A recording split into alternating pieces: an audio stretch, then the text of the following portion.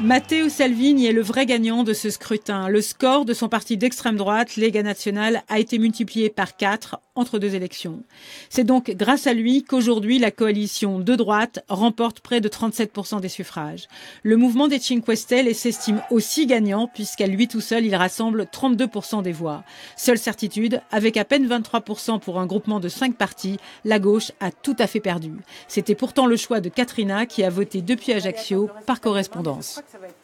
La chose qui m'inquiète le plus, le plus c'est vraiment la montée au pouvoir euh, du parti euh, fasciste, de l'extrême droite et de Casa Pound. Voilà, ça c'est vraiment mon, inquiétude, parce qu'on est en 2018 et on parle du fascisme qui, devrait être enterré depuis euh, des décennies.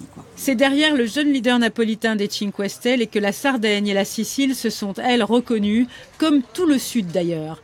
Même si les résultats ne sont pas définitifs, cela fait longtemps que la coupure électorale entre le Nord et le Mezzogiorno n'était pas aussi nette.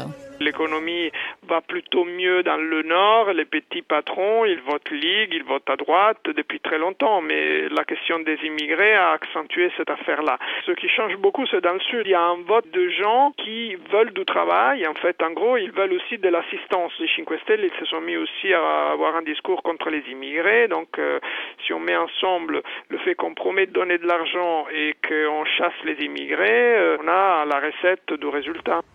Guai in vista. Même en Italie, où villages, quartiers et associations se sont démenés pour la solidarité avec les étrangers, les discours anti-migrants ont encore gagné du terrain en Europe, tandis que Rome risque de se débattre pendant des semaines à la recherche d'une improbable majorité parlementaire.